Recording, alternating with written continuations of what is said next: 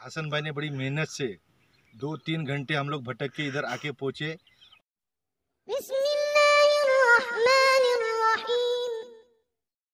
अस्सलाम वालेकुम सो ये Hasan Qadir back again with a new video अल्हम्दुलिल्लाह उम्मीद करता हूँ आप सभी लोग खैरियत से होंगे। तो चलिए शुरू करते आज का वीडियो तो आज जो हम यहाँ कनकुली शरीफ में ये हज़रत मासूम पीर रहमतुल्लाह जैसे आपकी दरगाह शरीफ आप देख सकते हैं। अभी जो यहाँ के जो हज़रत मासूम पीर रहमतुल्लाह आपके सबसे छोटे सज्जादे नशीन हैं जिनका नाम है एक मैडम गफ़ार कादरी। अस्सलाम वालेकुम वालेकुम अस्सलाम। गफ्फार कादरी जी। सरनेम हम लोग का कुडाल कर आता है।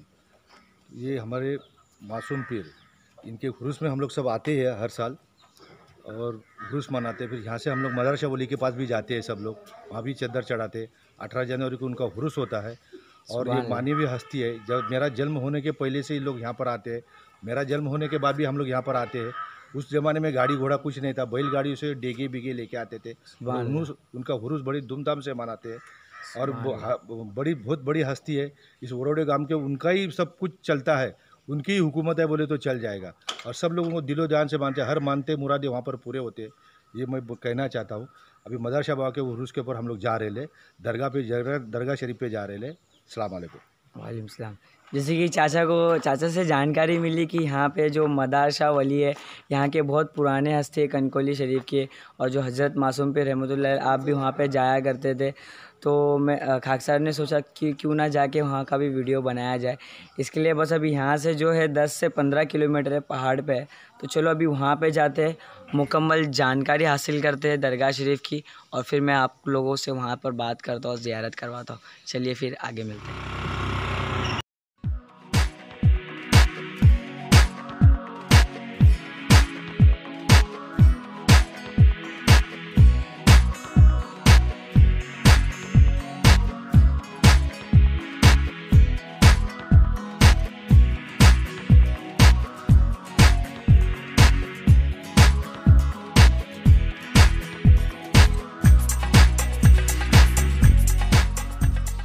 रहे हैं यहाँ पे हज़रत मखमली सरकार मखमली पे रहमतुल्लाह आप हमेशा आया करते हैं यहाँ पे नमाज़ अदा करने के लिए। यहाँ की गाँव की सबसे पुरानी मस्जिद है। अले ख़ानदान कादरी जो भी है यहाँ पे सब आप आराम फरमा रहे हैं। और अक्सर सर हज़रत मखमली पे रहमतुल्लाह आप भी यहाँ पर आया करते थे और शरीफ में और फातह खानी यहाँ पर होती थी।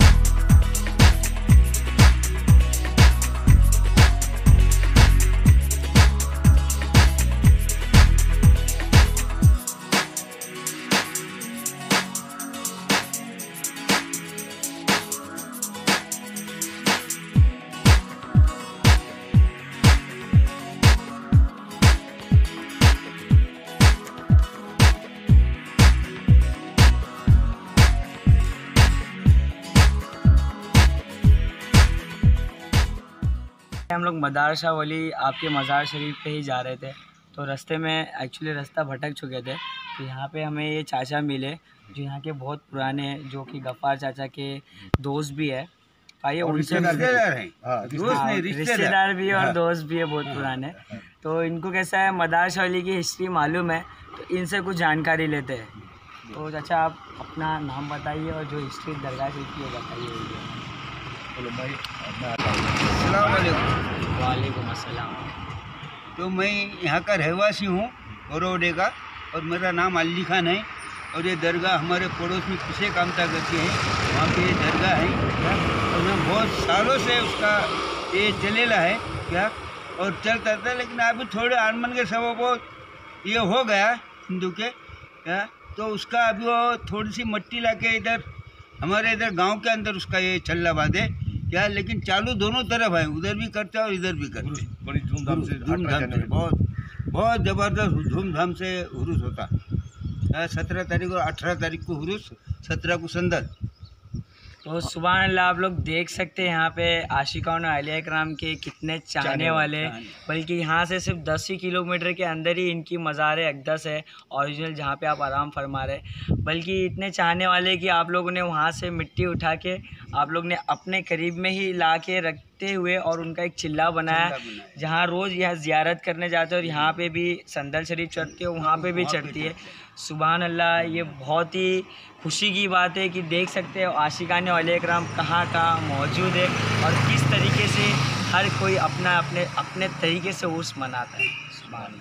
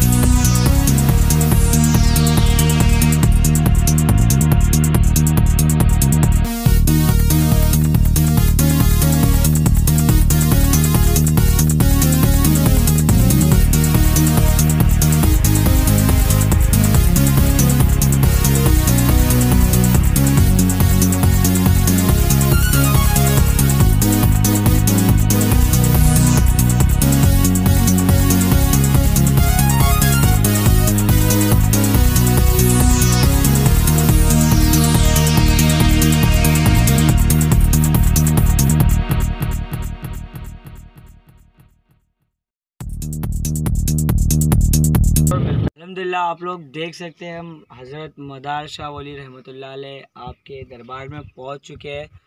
जैसे यहाँ पे आप लोग देख सकते हैं मदार शाह वली रहमतुल्लाह आपकी भी मज़ार अकदस है और आपके जो खुलफा कराम हाँ। मुरीदीन आशिकीनों में से उनकी मज़ार शरीफ है।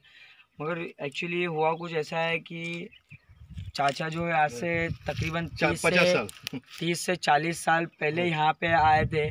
तो उनको भी समझ में नहीं आ रही कि कौन सी मज़ार अकदस है और यहाँ पे कोई खादिम भी नहीं है जिससे हम जानकारी ले सके। तो भी मैं यहाँ से जब गाँव में जाऊँगा जो गाँव के जूने आदमी हैं, उनसे जानकारी लेके आप लोगों को बताऊँगा। तो चलिए आप लोग जाइए ज़ियारत कीजिए। और यहाँ का एक बहुत ही एक बहुत ही अच्छी चीज़ है कि यहाँ पे जो हमारे हिंदू मुस्लिम भाई है और वो भी यहाँ पे बहुत ही शान से ओस शरीफ मनाते हैं आपका जो कि हर साल के जनवरी के अठारह तारीख को आती है। अठारह तारीख, हर साल की जनवरी की अठारह तारीख को धूमधाम से हिंदू भाई और मुसलमान भाई हमारे सब मिल के उस मनाते हैं। तो चलिए आप लोग जाइए, ज़्यारत कीजिए।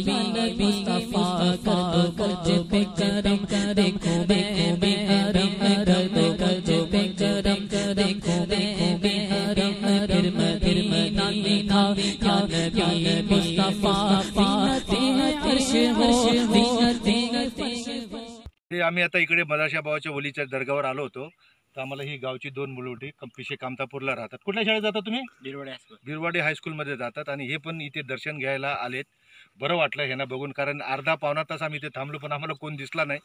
त्यामुळे नाव हे काय? पण नाव नाव नाव नाव. काय तुमचं? कृष्णा. कृष्णा आणि विनायक. हे दोन मुलं शाळेची मुलं आहेत त्यांच्या सायकलला उभे आहेत एवढ्या लांबून ते दर्शनाला आले आहेत.